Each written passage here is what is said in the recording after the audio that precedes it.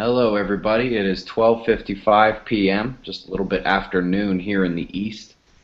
Uh, woke up this morning. It was low 40s, uh, low 40s degrees temperature uh, Fahrenheit. It's climbing up now. Billy, what was it where uh, when you woke up uh, this morning in Georgia? It was in the upper 60s today, this morning. Yeah. Uh, not too bad. You know we both have some heat coming, right?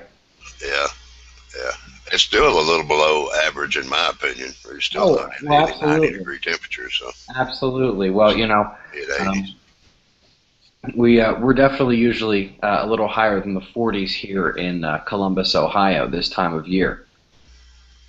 But that notwithstanding, um, and notwithstanding our long-term discourse for a coming mini ice age uh, in the next uh, 20, 40, 60 years, um, the real story, at least short-term wise, when it comes to the weather, is climate extremes, back and forth of all types.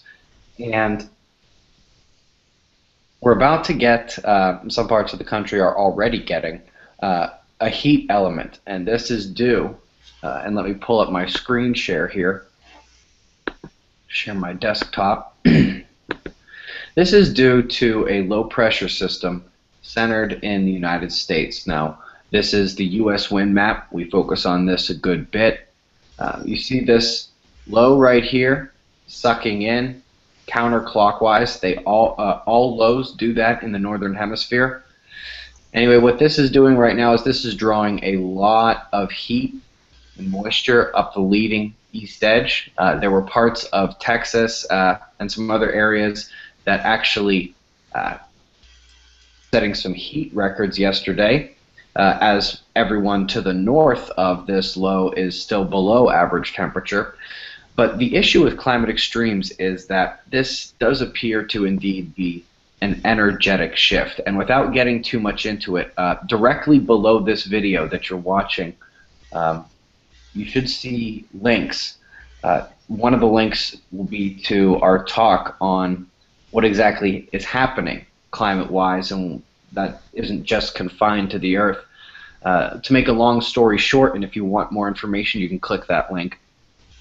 The Sun, Venus, Mars, Jupiter, Saturn, and and uh, arguably Uranus are all changing more than Earth, and its meteorological changes uh, almost across the board. And so we begin to look for, um, you know, what could be causing such a shift throughout the entire solar system. You basically come down to the energetic uh, side of things.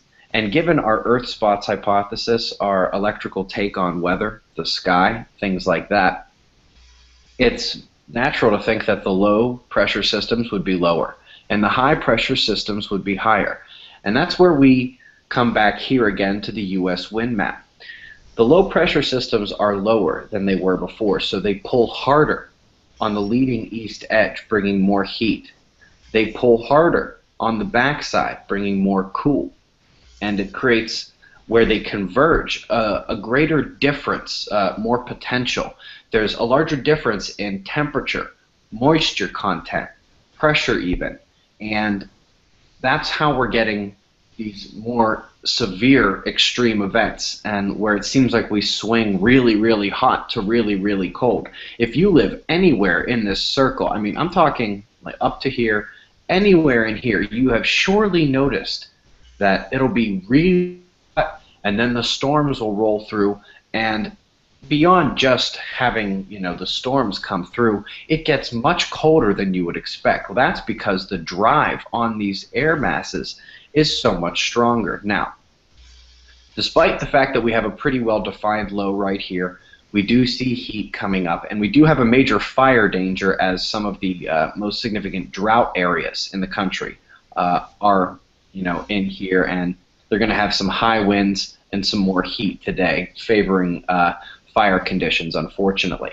But as this week goes on, and here we are, and this is, uh, we're using WOW uh, right now, World of Weather. And the blue signifies low pressure, the red signifies higher pressure. And I'm just going to start going through here, and you can see pinches off a little bit, comes together, morphs around. But at this point, we're on we're at Wednesday into Thursday now, and that low is just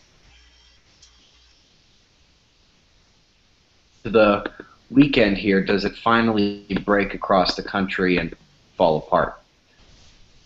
What you're going to see when that happens is there's been so much heat drawn up this way that the energy there is going to be ripe. And when it has sat there for a while, gained strength, and right as it's ready to break east across the country after having basically sat still in the breadbasket for today and most of tomorrow as well, we're going to start to see a severe weather threat return to the United States.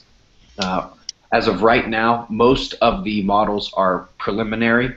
Uh, all of this is probably going to change going forward, but starting Wednesday, we're looking at severe weather threats, and they could be in Texas. You could actually see them just uh, east of the Rockies, and even up into Michigan and some of the surrounding areas. But as Thursday, Friday, and the weekend come on, what you're going to see is these lows, and I'll come back here actually. And as I said again, these are models at this point. Happen as the drive is going to be really strong here, and it's going to be strong enough that this heat and moisture is going to mix with cooler, drier air, and we're going to have some significant severe weather up the uh, the leading east convergence of the storm, and that's pretty much going to continue for uh, a good bit of Thursday and Friday and Saturday as it moves in. Now, um, whether or not we're going to get a lot of that severe weather uh, down like in your area, Billy, not sure. The convergence is definitely going to swing up and take on uh, New England by the time the weekend gets here. But you know, at that point, the low finally decides that it's going to break up. Uh, at least the models say so for now, and that's where we stand. So, moral of the story is that upcoming week. Uh, today shouldn't be too bad other than the, the fire danger. The fire danger is going to remain, and that's always going to happen when you have the heat uh, you've had the persistent drought for quite some time. I believe I this morning that said that over the over a recent time period, maybe it's weeks or months, uh, some areas right in here, and I'm going to go ahead and zoom in. You can click on the wind map to uh, to zoom in, by the way, and if you ever want to zoom back out, you just hit unzoom over here on the left side. But anyway, there are some areas that are actually right on the low. Uh, that are actually over the last few weeks and months. It's the first, second, or third driest time on record. And so you add in the strong winds and the heat, and you have a severe fire danger. That's today and tomorrow, and depending on what happens today and tomorrow, perhaps into the latter portions of the week as well. I'm going to zoom back out. Then as Wednesday comes, we're really going to have the severe weather threat. Wednesday, it's probably going to be kind of all over the place. Thursday, it becomes more you know, a defined thing along the leading east convergence, and then of course it's going to shift up through uh, New England as the time goes on. But anyway, let me quickly just pull this up here. I won't. Uh, this is that link I was telling you about if you want to know more about some of the things that are happening all over the Earth and uh, in the solar system. We'll get something on here that's not too terribly distracting. And um, essentially, the question is with these climate extremes, what's going to uh, happen? What are we going to see? It's the most common question um, because you can't really do uh, more than five minutes of research on the topic of climate or the weather uh, without hearing, of course, the the mainline uh, the mainline uh, green agenda, what we consider to be mostly propaganda. Um, not that we enjoy pollution, but uh, it just doesn't have as much of an effect on the climate as the sun does. In terms of shorter term or mid range climate extremes, what can we expect? Now, I'll just pull the wind map up because look at. Over the next few weeks, as it really starts to heat up in this part of the world, the tropical storm season is going to start to come back. And it's looking like the area, well, you can't see Mexico and Baja right here, but from Baja and down into Mexico, this area is going to favor tropical storm development uh, pretty heavily over the next few weeks, I'd say the next four or five weeks or so. Then, this sort of climate extremes mix where we get this really, really hot and really, really cold on the backside, that's pretty much going to continue throughout the summer. We're going to have these extreme heat events sometimes, and then you're going to wonder if it's still summer other times. It's just what we're going to have to get used to as the new normal as the high pressure becomes higher and the low pressure becomes lower. Now, if you've been watching, and I'll go ahead and I'll pull up some of the climate records here. Our old friend. Uh, this is something we've been looking at a lot recently to show some of the climate records, uh, the climate extremes in particular. And while this is loading, I'll take the time to remind everyone that, you know, put a gun to my head, force me to choose. Is it going to be hot or is it going to be cold in the future? Which is more likely? Hands down, long term, it's cold. However, if I'm free to choose what I think are short and mid-term, you know, the next couple of years, maybe decade or two will be, it's going to be a story of these climate extremes back and forth. Now, for a good part of the world, 2011 and 2012 were very, very warm. Of course, there were parts of Europe that were just getting over some of the worst winters they had ever seen, but that notwithstanding. At this point, cold has roared back and taken the lead over the last full 365 days, extending back into 2013 just year to date, cold has been absolutely dominating in 2014, and it's not just in the United States. The global summaries show the same as well. Uh, over the last year, extending back into 2013, the heat records are still, you know, pretty much on top. However, if you look at just 2014, it's absolute dominance by the cold.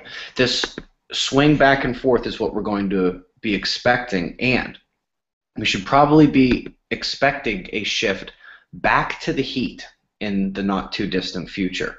Um, and I don't just mean these couple day events like we saw here with almost getting record temperatures, or like some of the heat warnings that were coming up the coastline when there was a low drawing air literally from the tip of Baja up to Southern California, and there was a two day heat warning.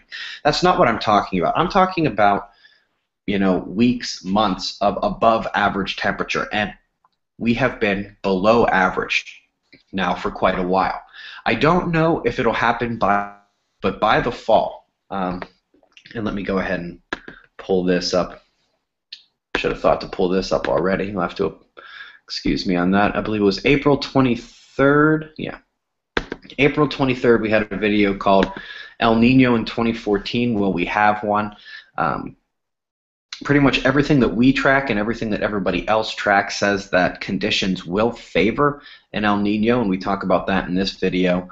The conditions will start to favor it in the fall. I don't know it, how quick of an uptick it will be to whether or not the heat will come in by then, but by the winter time, uh, in addition to, of course, you know, when a low comes through, we'll get warm and then get really, really cold. We'll probably have some more of those severe cold events as well in the short term this winter. But over the long term, this winter should probably be a bit warmer for a good portion of the world than it otherwise would have been. The lone exception of that, of course, might be uh, Europe. And again, we're focused on the United States today. Last little bit, uh, and I get this question so very often. Um, how long do you think that it's going to be this back and forth climate extremes before there is an actual break for global cooling? Uh, only, if there is to be one. And frankly, I think it could be as long as until 2020. That seems like a pretty uh, solid number, and it's not even, uh, you know, a number that I, I'm holding on to myself. A lot of uh, people who are focused on, you know, say the Wolf-Gleissberg cycles of the sun, uh, who are focused on uh, shorter uh, sinusoidal periodicities in the temperature, this area of 2018 to 2025 appears to be when a lot of those scientists believe that we could break uh, for global cooling. But until then, I don't see any way to avoid these more climate extremes as this energetic shift continues. Again, uh, link uh, with my speech, that's got everything you need. Uh, you can follow the titles of all of the articles shown. All of this data comes from the official sources, uh, you know, NASA, the ESA, uh, and equivalent sources, you know, PhDs, university professors doing the research. It is what it is. The Sun, Venus, Mars, Jupiter, Saturn, and arguably Uranus are all changing in a climate form more than Earth, proving that either climate change is a natural and expected planetary process, or that what we're seeing here on Earth is part of a larger systemic solar system shift. And I guess uh, the last thing I'll say uh, on top of that 2020 note is by then we had better get our pollution and all the other ways we poison the environment under control. If you do watch that speech, I will uh, ask you to start paying attention right off the bat because before I even make my first factual pitch for solar climate forcing, I like to uh, like to say that I expressed my opinion quite well about human pollution and things like that. Anyway, that's where we stand. Uh, we have severe weather coming to the United States this week. Um, the cold that we've seen over 2014 should give way by the winter time in the north. Of course, that'll be the southern hemisphere summer. And for that question that I seem to get dozens of times every day, how long is it going to be this climate extremes, this really, really hot, then really, really cold? You know, unseasonably so. How long is that going to be? Best guess right now is 2020. And then hopefully, uh, hopefully you'll have your gloves and your hat situation figured out. But until then, we have uh, we have severe weather threat to take care of uh, and get through later this week. Uh, it'll be what it is. Billy, do you have anything to add there? No, you did a pretty good job, everybody. Much appreciated, and thanks for everybody for tuning in. Uh, make sure you're safe and check your local. Do come through this week. Be safe, everyone.